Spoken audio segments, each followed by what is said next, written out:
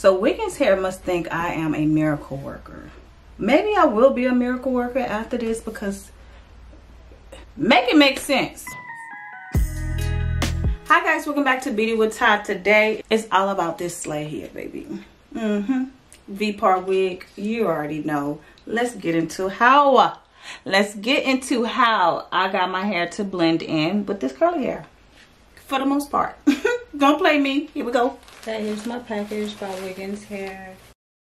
So they sent me an edge brush, a melt band. Oh, these are cute. Some lashes, some wig caps, and this is 24 inches. Okay. Really pretty curls.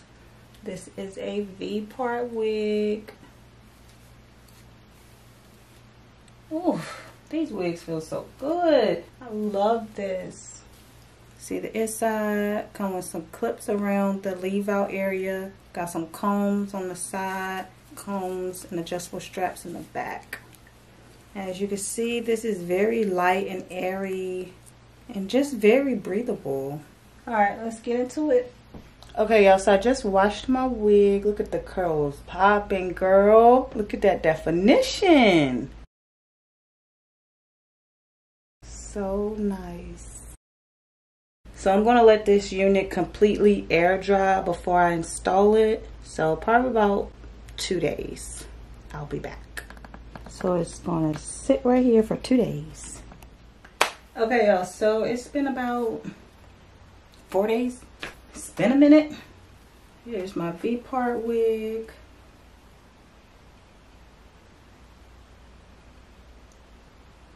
Okay, so this is going to be a real quick and easy, simple video because this is a wig that you should be able to install and go and be on about your little merry way, okay? So first thing, I'm going ahead and cut this middle piece. And since I will be trying to blend my 4C hair with this 2B hair, I will go ahead and take out, so you see on one side, it's about this thin and I'm going to twist this with my hair. So I'm going to pull that out all around. But girl, I will be gluing mine down. You can sew yours down. You can just use the wig clips. These are here.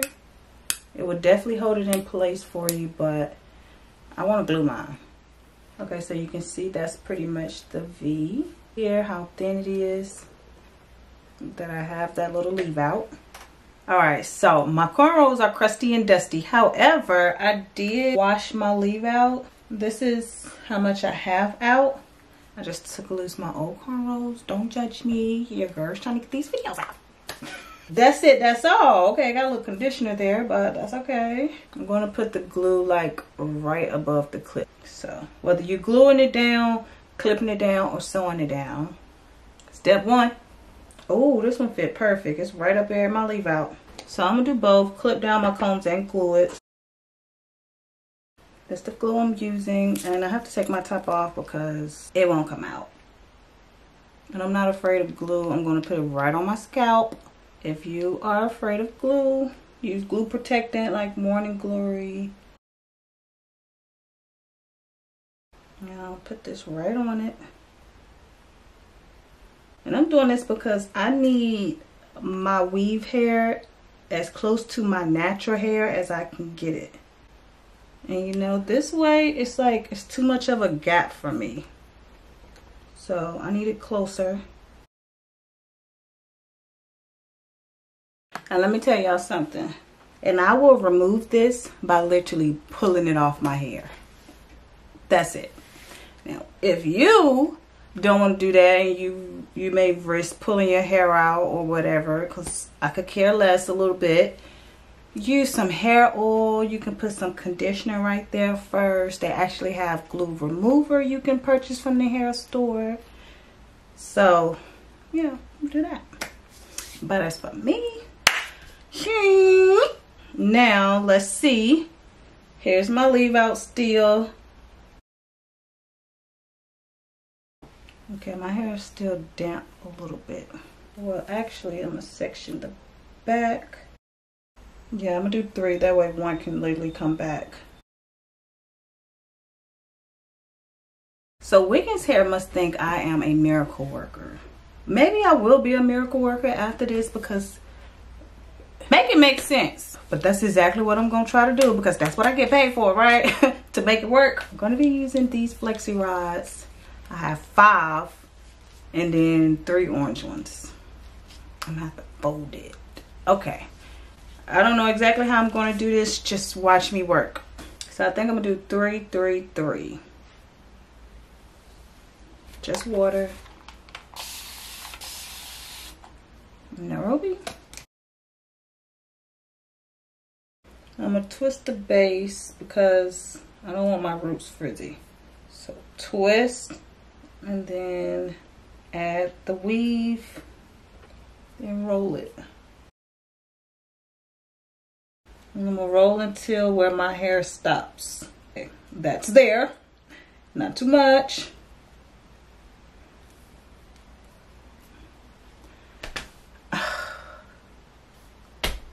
no this is not gonna work. It's not. You know what? I'm just trust the process and I'm gonna keep going. Just make sure this is actually a little curl. And I'm okay with that.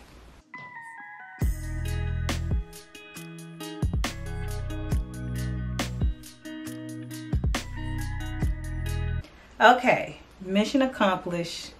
I did it.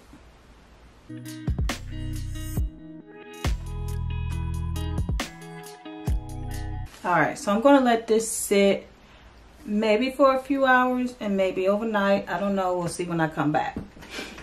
I see you when I see you, girl. But first, I'm gonna put this hair net on my hair just so like it's not gonna get any more frizzy. It's actually a little frizzy right here because I separated that hair from it. Should I do a little bit of water?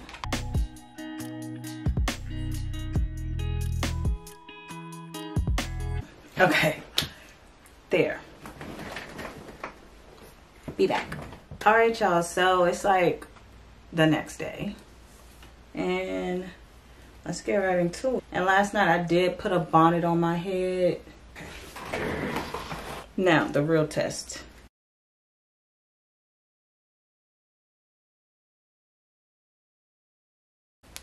Did it work?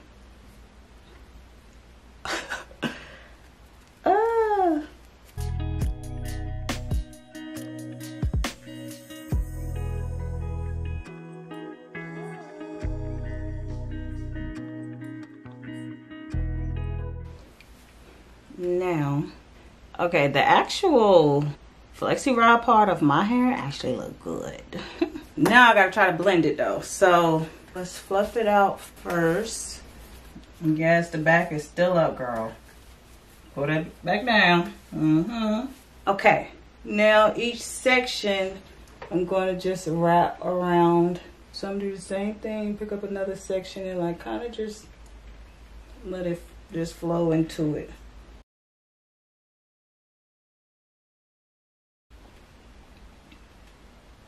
Okay, so I done this side. I think it look really good. So let's match this side. And some of them I do actually separate.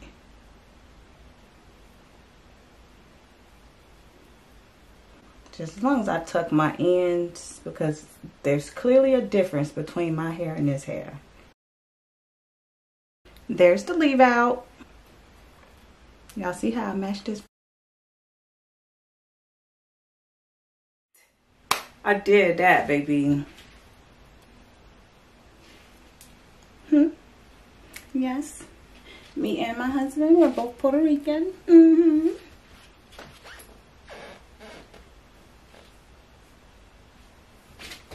Now see how long it is?